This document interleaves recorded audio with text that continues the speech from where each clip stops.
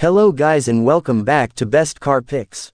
Isuzu has revealed a new 2.2-liter turbo diesel four-cylinder engine for the D-Max and MUX, but it doesn't spell the end of the venerable 3.0-liter.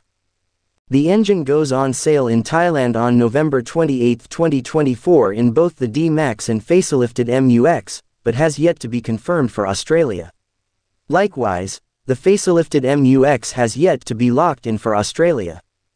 In Thailand, the new engine, named RZ4F internally, is based on and replaces the current entry-level 1.9-liter turbo diesel 4 RZ4E. Given Isuzu also builds the BT50 for Mazda, it appears likely the 2.2-liter will replace the 1.9-liter in that model, too. While it is exciting to see that Isuzu continues to innovate with new powertrains, we currently are not in a position to comment on future product plans, an Isuzu Ute Australia spokesperson told. While the 2.2-liter is expected to be a step in the right direction towards meeting lower emissions targets, at this point in time, details of the new powertrain are yet to be confirmed.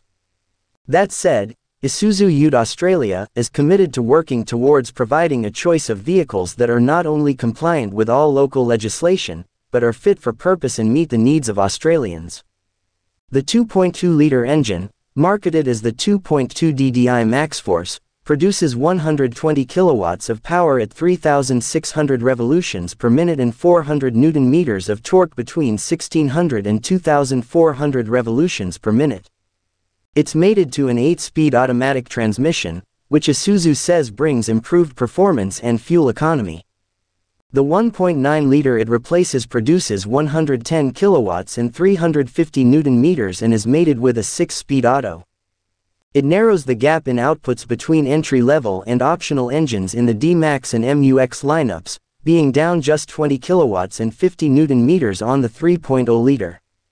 A mild hybrid version of the 1.9-liter, revealed earlier this year, will remain on sale in Thailand in a single rear-wheel drive pickup variant. This produces an identical 110 kilowatts and 350 newton meters to the regular 1.9 liter. It's unclear at this stage if the 2.2 liter will eventually gain a mild hybrid system. While Isuzu hasn't published fuel consumption figures, it says fuel economy has been improved by up to 10% over the outgoing 1.9 liter. According to Australian figures, D-Max models with the 1.9-liter use between 6.7 liters and 7.0 liters per 100 kilometers. The new 2.2-liter now stacks up better against the entry-level turbo diesel engines found in the top-selling Ford Ranger and Toyota Hilux. The Hilux Workmates 2.4-liter turbo diesel 4 produces 110 kilowatts and 400 newton meters, while the Ranger's single-turbo 2.0-liter diesel 4 produces 125 kilowatts and 405 newton-meters.